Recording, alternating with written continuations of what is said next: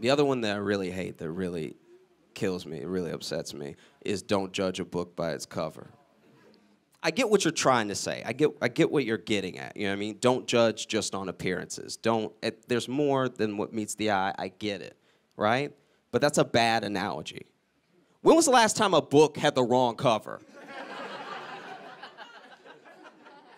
Like when it, to, to, help me out. When have you been going to the bookstore to get a present for your niece and you're like, I'll get Winnie the Pooh. She like Winnie the Pooh, and then you grab Winnie the Pooh. You just look at the cover, you don't read it, and so you grab Winnie the Pooh and then you wrap it up and then you give it to her and then she unwraps it and she's like, Oh, Winnie the Pooh, I'm so excited, and then she turns the page past the cover and it's Mein Kampf. That's never happened.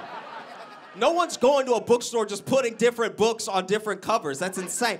Sometimes I'll be in New York on the subway. I'll be like, he's about to be crazy. I don't know what he's about to do, but he's about to be crazy. I can tell you that right now. I'm just looking at him. He's about to be crazy, you know. And the train will come and it will leave, and he won't get on or leave the station. He just pulls his pants down. I'm like, see, that book was wearing its cover.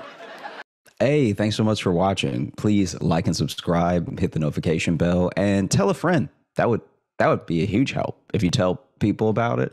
Uh, sharing is great. There's like a share button, but if you tell people, they might click on it.